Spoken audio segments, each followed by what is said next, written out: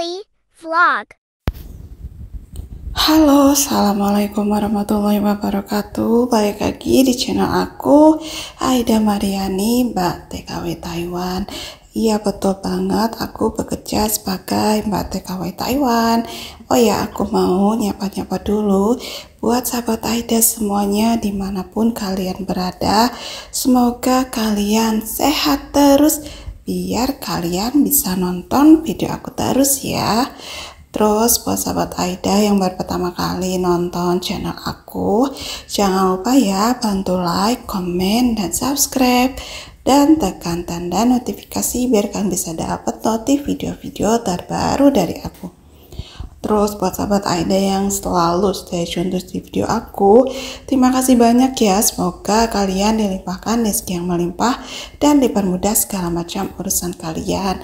Amin amin ya robbal alamin ini tuh aku buat videonya sore hari ya jam 5 sore ini tuh aku lagi lihat sunset, sunset ya tadinya tuh aku niatnya mau tutup jendela ya kan?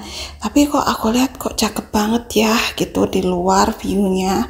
Jadi aku ambil aja videonya ya. Jadi aku langsung cepet-cepet ngambil HP aku terus aku rekam deh tuh. Ini tuh dari lantai 12 ya viewnya secakep ini jam 5 sore di Taiwan tuh gila keren banget sih menurut aku ya. Karena aku tuh suka banget sama sunset dan hari ini tuh aku nggak libur. Aku lagi nemenin kakek aku di rumah sakit. Karena kakek aku tuh habis operasi ya sahabat Aida ya. Ya doain aja. Mudah-mudahan kakek aku kondisinya cepat membaik cepat pulih terus bisa cepat pulang ke rumah seperti biasanya biar apa? Biar aku tuh bisa nemenin dia ke pasar bisa ngeliat dia olahraga lagi di rumah ya kan? Lebih nyaman di rumah sih walaupun di sini dikasih fasilitas yang nomor satu ya menurut aku. Tetap ternyaman di rumah sendiri betul gak sahabat Aida? Ya kan? Nih tuh di jalan juga banyak banget mobil-mobil yang berlalu lalang ya. Dan kakek aku lagi istirahat ya sahabat Aida ya Alhamdulillahnya sih badan dia nggak panas ya. Biasanya kan kalau orang habis operasi itu kadang tuh uh, badannya panas kayak gitu. Dan dia tuh enggak. Dia tuh nggak panas normal ya. Suhu badannya cuma tuh takutnya kenapa-napa gitu. Jadi masih harus tetap minap di rumah sakit dulu. Terus ini tuh viewnya benar-benar sumpah sih cantik banget ya. Tuh. Apalagi kalau misalnya sore-sore kayak gini jarang banget kan di karena beberapa hari yang lalu tuh hujan ya di Taiwan musim hujan. Nggak siang nggak pagi nggak malam itu hujan. Bentar-bentar hujan. Kadang tuh pagi panas terus nggak lama hujan. Habis hujan kadang panas kayak gitu ya. Cuacanya itu nggak stabil ya menurut aku sahabat Aida ya. Buat sahabat Aida tuh jangan lupa deh tuh ya banyak-banyak minum air putih. Jaga kesehatan karena kan kita itu kerja ya kan di sini. Kalau kita nggak sayang sama diri kita sendiri kita nggak bisa jaga kesehatan diri sendiri siapa lagi kalau nggak dari diri kita sendiri. Betul kan ya sahabat Aida ya? Tuh sumpah sih aku tuh cakep banget. Jadi aku tuh setiap sore itu aku ngeliatin sunset dari jendela ya. Karena kalau misalnya dari bawah itu nggak kelihatan dia tuh ketutupan rumah sakit ya. Karena itu rumah sakit tuh bener-bener besar banget ya salah satu rumah sakit di daerah Kaohsiung Taiwan. Namanya itu Changken Yen. Di situ rumah sakit khusus buat orang uh, tua ya buat orang tua sih kebanyakan dan di situ kebanyakan itu bagian kayak misalnya jantung, paru-paru, bagian dalam ya organ dalam kayak gitu. Katanya tuh di sini tuh kalau bagian organ dalam sih kata majikan aku tuh bagus banget. Salah satu uh, rumah sakit recommended deh kalau misalnya bagian dalam ya. Jadi makanya kakek aku operasinya kali ini tuh di rumah sakit ini.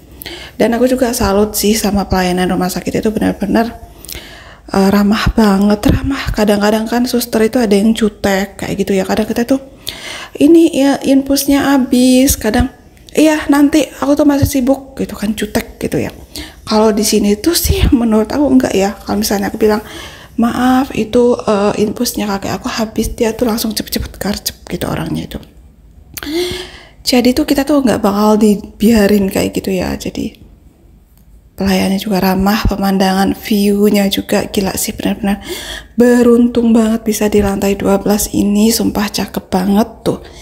Sunsetnya keren banget tuh menurut aku view-nya indah banget.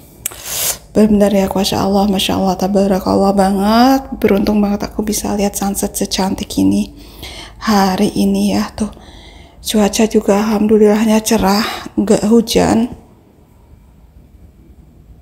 Dan kebanyakan di sini tuh uh, pakai mobil pribadi sendiri ya atau taksi juga ada cuma sedikit banget. Karena tuh di rumah sakit ini emang jauh ya maksudnya uh, kayak bis kayak itu jarang ada yang lewat ada cuma beberapa doang nggak banyak. Tuh Selamat menikmati view yang cantik ini sahabat Aida semuanya ya. Jadi di sini aku nggak banyak ngomong. Kenapa? Karena aku takut kakek aku itu terganggu waktu istirahatnya ya sahabat Aida ya. Jadi kalau misalnya aku ngomong panjang kali lebar, takutnya itu dia bangun ya. Jadi kakek aku juga masih dikompres ya dada yang bekas operasinya itu. Uh, takutnya itu darahnya ngalir lagi gitu kan. Jadi setelah operasi kemarin itu disuruh kompres sama dokter. Katanya 20 menit dikompres es batu digulung pakai handuk itu selama 20 menit nanti setelah 20 menit kita angkat istirahatin 5 menit. Setelah 5 menit kita tempel kembali selama 20 menit kayak gitu terus berulang kali sampai malam. Malam itu ya uh, tergantung kita mau tidur jam berapa gitu. Kecuali kalau kita mau tidur takutnya kita bablas tidur terus nanti sampai pagi takutnya bekas operasinya kalau terlalu lama uh, rusak ya sahabat Aida ya. Apalagi es batu es batu kan lama-lama jadi air.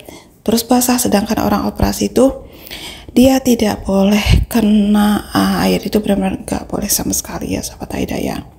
Jadi uh, ngelapnya juga harus pelan-pelan takutnya itu kena air basah lah gitu ya.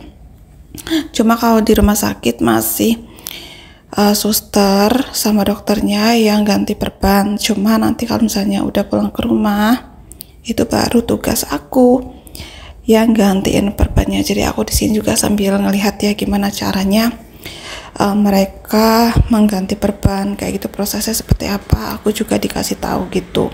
Sampai tuh majikan aku tuh di videoin gitu dia minta izin sama perawatnya gitu kan. Aku boleh nggak ambil video? Hah, ambil video buat apa? Gitu kan. Enggak enggak katanya gitu bukan buat aku. Uh, apa buat bukan buat taruh di sosmed bukan. Ini tuh buat aku maksudnya uh, pembantunya yang ngejaga kakek biar nanti kalau misalnya udah di rumah itu nggak bingung. Biar aku tuh inget kalau misalnya lupa aku bisa lihat di uh, eh, HP aku oh caranya itu seperti ini gitu. Jadi susternya itu sambil uh, di videoin dia meraktekin gitu cara mengganti perbannya kakek aku itu seperti apa. Terus juga dia itu sambil berbicara gitu. Biar nanti kalau aku oh ini gimana ya? Oh ini kayak gini ya gitu. Oh aku lupa nih gimana. Jadi aku bisa lihat oh cepet-cepet buka apa aja. Oh gini gini gini gini gitu. Inisiatif banget tuh majikan aku. Aku sampai lupa loh oh iya ya aku majikan aku benar-benar ngingetin aku yang luar biasa. Alhamdulillah. Kakek aku juga baik banget. Terus anak-anaknya juga semuanya masya allah tabarakallah baik banget sih. Selamat menikmati view sore hari sahabat Aida ya. See you the next video. Buat sahabat Aida yang sudah nonton vlog aku sampai selesai ya. Nonton sunset di sore hari dari lantai 12 di salah satu rumah sakit yang ada di Kaohsiung, Taiwan yaitu Changken Iyen. Semoga kalian terhibur. See you di next video ya. Bye.